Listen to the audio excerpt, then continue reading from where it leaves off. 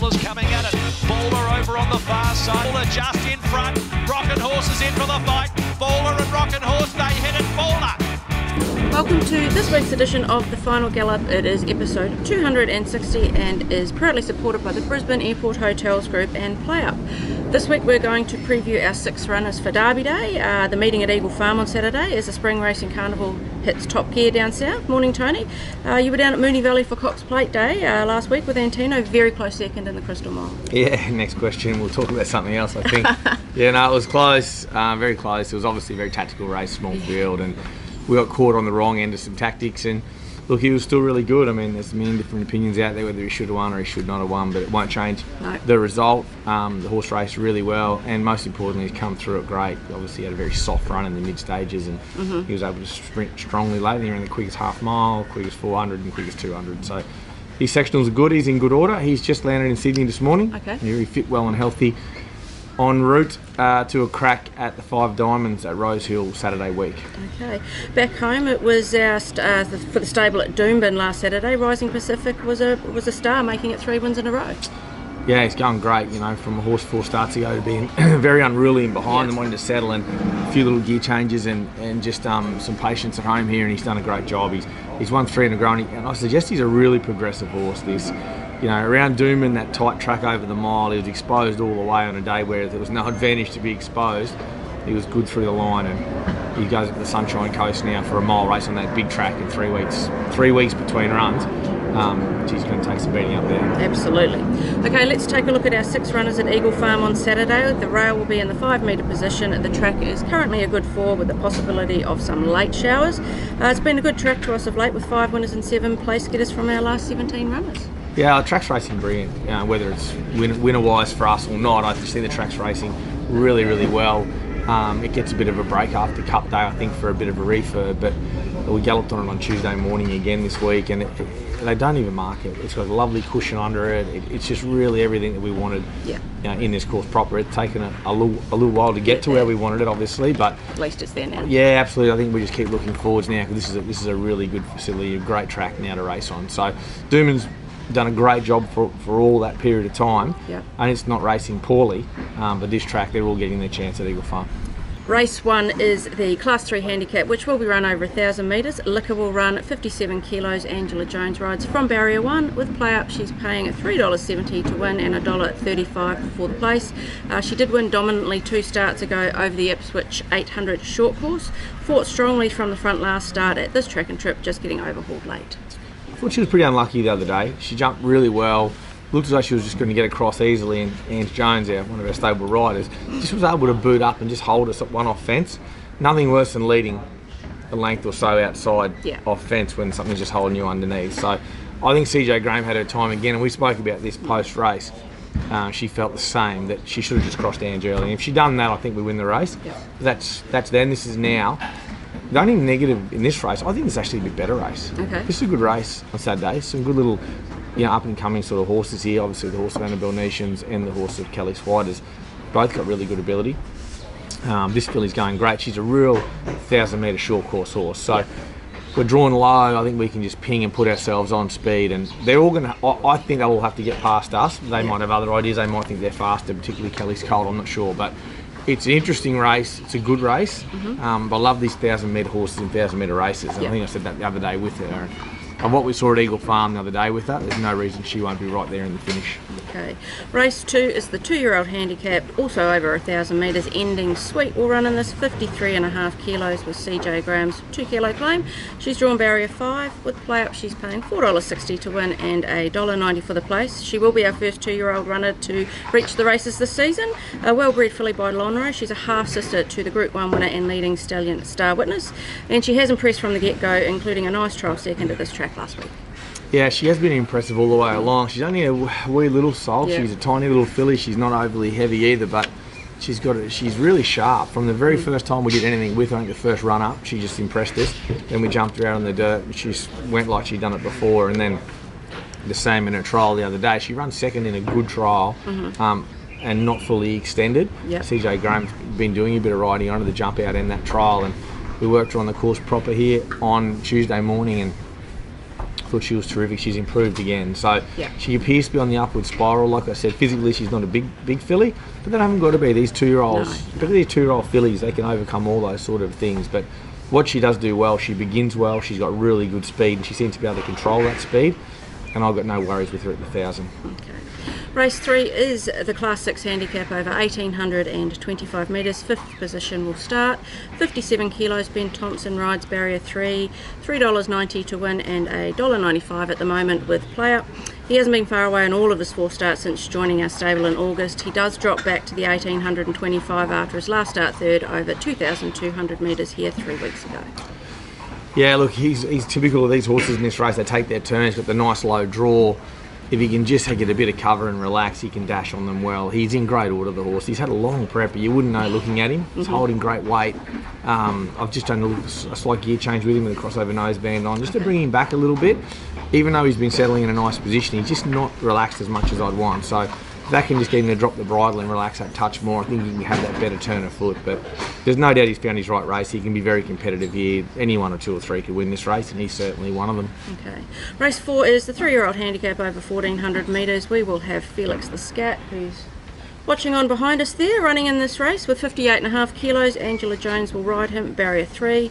With PlayUp, Felix is paying $9.50 to win and $2.70 for the place. He is a newcomer to our stable, and he was an impressive two-year-old for his previous yard last season. Nice trial uh, a couple of weeks ago behind a bounding, which franked that form with a nice win at Doomben last week.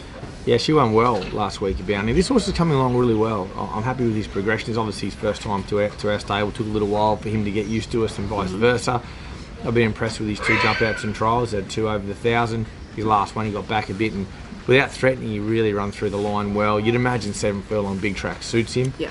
Um, he appears to be in really good shape for his first up run over the back there. He's a pretty happy, healthy big fella. So, i- in a race, I don't think anyone. I think the market will change a lot. I think he's in about seven bucks even maybe now, but the market will continue to change in this race. Um, but I I think he's as good a chance as any in a very open three-year-old race. I, I quite like him. I'll learn a bit more with him under race conditions on Saturday. Yep. Um, but he's a horse I quite like, and I think as we get him out in trip throughout this summer, we might see a nice little stayer. Okay. Race six is the benchmark 70 handicap over 1300 metres. Madame Odette will start in this. She will have Ryan Maloney riding her with 58 kilos. She's drawn barrier 9 with PlayUp. She is paying $4.20 to win and $1.80 for the place. She's also first up on Saturday and she was a stakes place getter last season, second up over the mile. She will improve off this run, but she did look impressive through the line in a 1000 metre trial last week. Yeah, she's been good. I mean, both her trials and uh, trials jump out have been terrific. I've had a great prep with her. She seems good. This Eagle Farm track will suit her. It's got a bit of cushion in it now. Um, Maloney will e-rode here on the course proper Tuesday morning, and here and she feels as good as what as what she's felt, particularly ready for this first up run.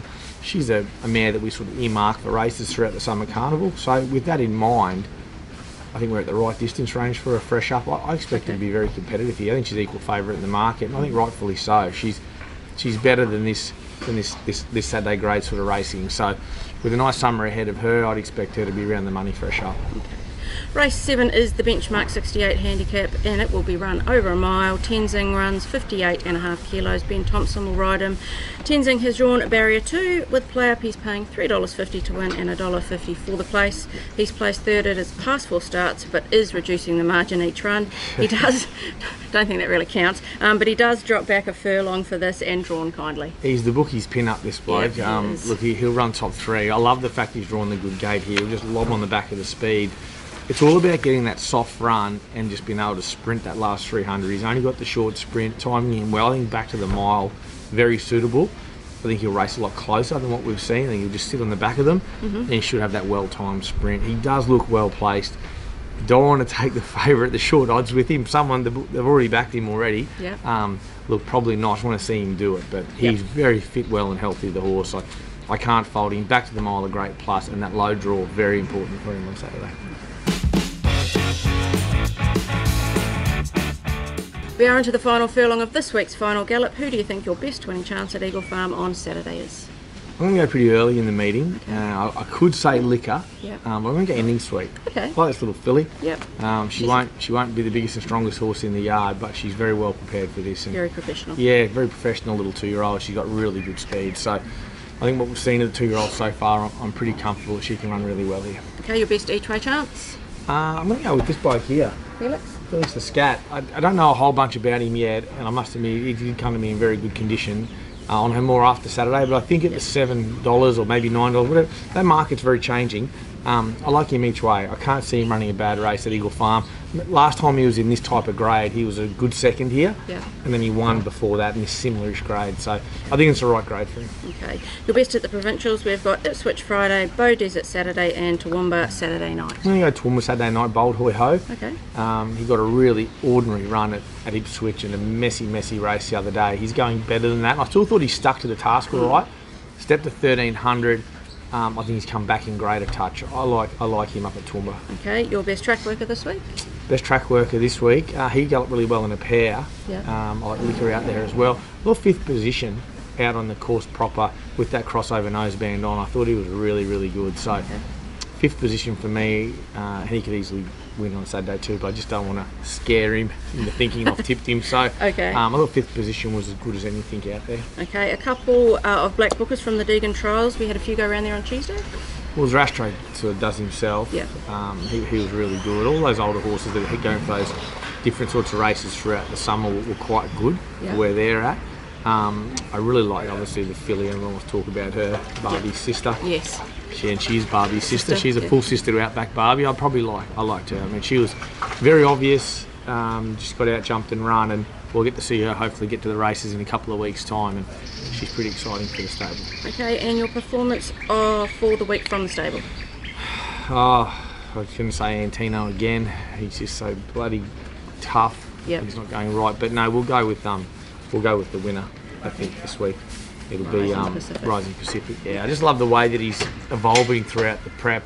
He had to do it really tough Saturday. Yeah. You won't see many tougher wins around Doomben than that. So, Rising Pacific for me, nice tough win. Okay, and looking ahead to the Melbourne Cup Day meeting, uh, we've got a few going around at Eagle Farm there. Any to keep an eye out for? There's a bunch of horses going around there and a few horses we really quite like. But Sunset Soiree looks well placed there, back to class 4, 1800. Yep. And I prefer minis out to the mile and a half. So we're not noted for having a bunch of staying horses in our but we've still got more sprinter milers. But I think we can um, possibly trouble the Waller stable in a few of those staying races there on Tuesday. Let's hope so. Okay, now courtesy of PlayUp, it is time for the stable special offer, and this week it is five dollars for Felix, the Scat to run top two. What are your thoughts on that one? Well, when he was twelve dollars in the market, I thought it was pretty stingy, but now he's sort of around the seven bucks. I think five dollars front top two is a really good bet now. Um, so I can't see why he wouldn't run well in this grade. You know, it depends what form line you like here. But he's got that good Saturday form at this level. Yep. He went to the went to those group races, but he, he had a hard run in Sydney before Yep. that. So I think at his Brisbane runs at this level, he'd been really good. And I can't see why he wouldn't be really good this weekend. Now it is time for Cavs Corner, which is supported by the Brisbane Airport Hotels Group. We'll just forget his multi last week. His first leg went down and then his second leg was scratched. But I'm sure, I'm not sure, that he'll be back with a bang this week. Uh, welcome to Cavs Corner for this week. Uh, this week we'll venture to Beaudesert, White Ribbon. Hopefully draws an alley, a win, and then we'll venture up the hill to Toowoomba. Uh, bold hoy ho with Beetleman Allen on it. Good punting, guys. So he's gone white ribbon a win at Beaudesert into bold hoi ho a win at Toowoomba. Gone back to the provincial. Well, he's gone wide. He's gone very out wide. wide. Beaudesert, Bow Desert and T-Bar. Well, T-Bar's been, Toowoomba's been a pretty happy hunting ground Yeah. for us late, but look, no doubt something will jump up there and give us a good run for our money on the weekend. But look, I don't mind his multi. Yeah. Um, I'm surprised he's gone away from the city cities. We've got some terrific chances here at Eagle Farm. Mm-hmm. But look, I'm, I'm not going to try and get into the mind of uh, one Craig Anthony, Mark Bartholomew Cavanough, that's for sure. No, I think you'd be mentally scarred if you did that. Absolutely. Okay, good luck at Eagle Farm on Saturday, Tony, and then a big Melbourne Cup race day at Eagle Farm on Tuesday. Yeah, great time of the year. Derby Day. It used to, it well, still is, I guess, Yep. the traditionalist great day Okay. of the year. We've had a lot of changes to the spring carnival. I'm probably more warming to Champions Day now. They call it Stakes Yeah, Day. yeah, the last yeah, day of the carnival is as my pick, but Coolmore, big race on Saturday for the three-year-olds. You know, the Derby, and then Tuesday we've got the Cup and the O's. It's just a great week, isn't It it? is, I know we won't be down there this week 'cause we've shifted our base to, to Sydney now, but it's a great week, and I think anyone, and everyone who likes racing a little bit, this is kind of that, that one of the weeks of the year that you certainly look forward to. Absolutely. Best of luck to everyone over the whole weekend.